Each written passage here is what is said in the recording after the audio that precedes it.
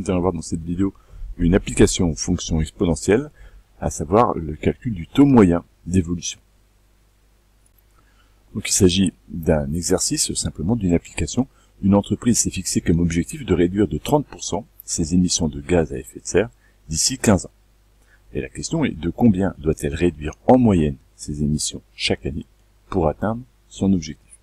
On a donc un taux d'évolution global sur 15 ans et l'idée est de savoir quel est chaque année le taux moyen qu'elle devra réguler, constant, qu'elle devrait s'imposer si elle voulait avoir le même rythme de baisse, de diminution d'émissions de, de gaz à effet de serre, si elle voulait avoir un taux constant sur les 15 années, quel devrait être ce taux constant pour arriver sur la période totale de 15 ans à une diminution de 30%. Voilà une modélisation de la situation. Nous avons représenté dans des petits carrés les 15 années à venir pour l'entreprise qui doit baisser entre l'année actuelle considérée comme 0 et l'année 15, une baisse totale de 30%. Et la question est, quelle doit être l'évolution On va appeler le taux moyen d'évolution, TM, pour que chaque année, 15 fois de suite, en affectant cette même baisse en pourcentage, constante 15 années de suite, elle arrive sur la période à une baisse totale de 30%.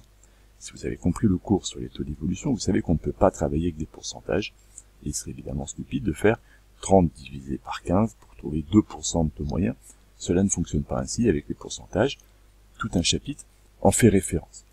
Il faut, pour travailler avec des pourcentages et des évolutions successives, revenir au coefficient multiplicateur et baisser de 30% un prix, cela revient à la multiplier par 1 moins 30 centièmes, c'est-à-dire à multiplier par 0,70. Sur la période des 15 années, la production de gaz à effet de serre a été multipliée par 1 moins 30 centièmes, soit 0,70. La question est donc, par combien faut-il multiplier chaque année? Par quel coefficient faut-il multiplier chaque année pour que, au total, cela fasse 0,70 Si l'évolution est de t% chaque année, eh bien, cela revient à dire que chaque année, on multiplie par 1 plus t centièmes. On va appeler t indice m si on veut, et de là à là, on va encore multiplier par 1 plus t centièmes, de là à là encore par 1 plus t centièmes, de là encore par 1 plus t centièmes. En fait, on va multiplier à chaque fois 15 fois de suite par 1 plus t centièmes. Au final, il faudrait que 1 plus t centièmes multiplié 15 fois de suite par lui-même, c'est-à-dire à la puissance 15, que ce coefficient multiplicateur, donc, des 15 multiplications consécutives, soit exactement égal au coefficient multiplicateur global que nous avions, égal à 0,70.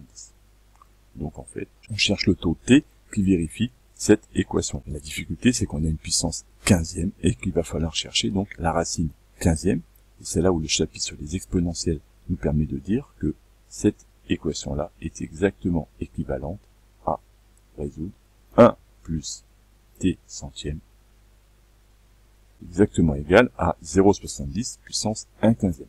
Ce calcul peut être effectué à la calculatrice et tout ça nous donnera au final que t centième, donc le taux moyen que je cherche, va être égal à 0,70 à la puissance 1 quinzième, auquel je vais enlever 1. En faisant le calcul à la calculatrice, on obtient que t centième est environ égal à moins 0,0235, et on obtient donc au final t environ égal à moins 2,35. Au final, le taux d'évolution doit être de moins 2,35% par an sur 15 ans pour atteindre moins 30% sur la période. Et c'est ce taux-là que nous appellerons le taux moyen.